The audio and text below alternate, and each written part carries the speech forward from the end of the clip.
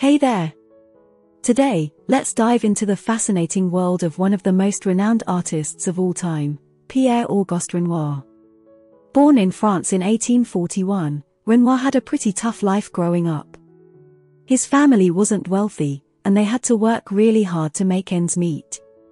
But you know what they say, tough times often lead to incredible art, and that's exactly what happened with Renoir. His experiences growing up fueled his passion for painting, and he went on to create some truly remarkable works of art. In the late 1800s, Renoir painted a series of masterpieces that are known for their vibrant colors and beautiful depictions of everyday life. One of his most famous works from this period is called Young Woman.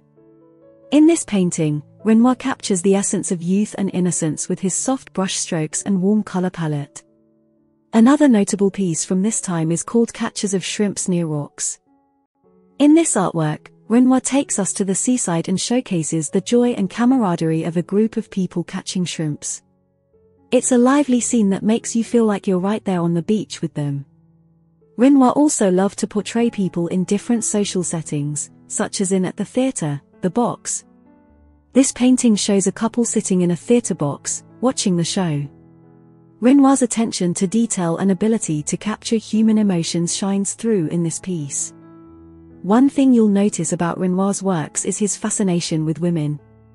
He often painted them in beautiful dresses, like in Woman in a red corsage and a black hat. The way he captures their grace and elegance is truly mesmerizing. Renoir also had a talent for capturing the relationship between women, as seen in Two Women and Young Girls.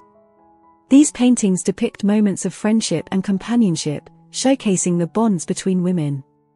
But Renoir didn't just focus on adults, he also painted scenes of motherhood, like in Woman Nursing a Child. This artwork celebrates the love and tenderness between a mother and her child, and it's truly heartwarming. Now, let's not forget to mention Renoir's self-portrait, Portrait of Pierre Renoir. In this painting, Renoir gives us a glimpse into his own persona. You can see the determination in his eyes and the passion he had for his craft. Finally, we have Woman in Red Reading and Femme en Rouge Lisant. These paintings show women immersed in their reading, lost in their own worlds. Renoir captures the quiet intensity of their concentration and invites us to ponder what they're thinking about.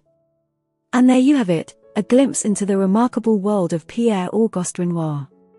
His experiences in life influenced the beauty and intimacy he imbued in his paintings. So, next time you come across one of Renoir's artworks, take a moment to appreciate the magic he brought to the canvas.